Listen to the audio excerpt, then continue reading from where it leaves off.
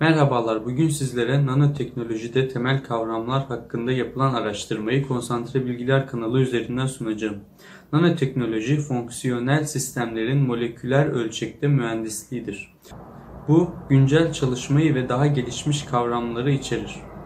Orijinal anlamıyla nanoteknoloji, bugün tam ve yüksek performanslı ürünler yapmak için geliştirilen araçlar ve teknikleri kullanarak maddeleri aşağıdan yukarı oluşturmada tahmini gücü ifade eder. 1 nanometre metrenin milyarda biridir. Tipik karbon-karbon bağ uzunluğu ya da bir moleküldeki atomların arasındaki boşluk 0.12 ile 0.15 nanometre arasında değişiklik gösterir ve bir DNA çift sarmalı yaklaşık 2 nanometre çapa sahiptir. Diğer yandan en küçük hücresel yaşam formları Mycoplasma familyasının bakterileri yaklaşık 200 nanometre uzunluğundadır. Genel kabul ile ABD'deki National Nanotechnology Initiative tarafından kullanılan tanımın ardınca nanoteknoloji birden yüze ölçü aralığı olarak alınmaktadır. Daha düşük limit atomların boyutu tarafından belirlenmektedir çünkü nanoteknoloji aygıtlarını atom ve moleküllerden inşa etmek zorundadır.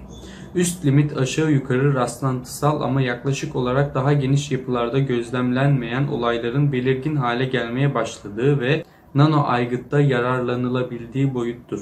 Bu yeni olaylar nanoteknolojiyi eşdeğer makroskobik aygıtın sadece küçültülmüş versiyonları olan aygıtlardan farklı kılar.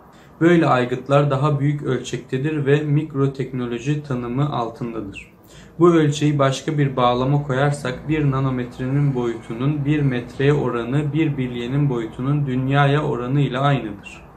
Diğer bir deyişle 1 nanometre ortalama bir adamın tıraş makinesinin yüzüne yaklaştırdığı zamanda uzayan sakal miktarıdır.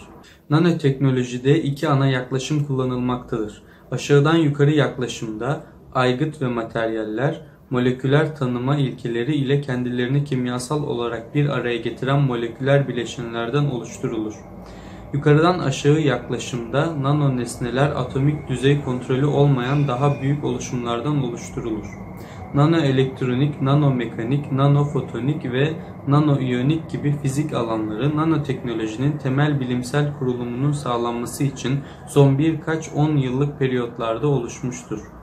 Siz de Konsantre Bilgiler kanalında sunum yapmak veya içerik hazırlamak istiyorsanız info.konsantrebilgiler.com adresine mail atarak irtibata geçin ve bildiklerinizi diğer insanlarla paylaşarak bilgilik ağacını sulayın.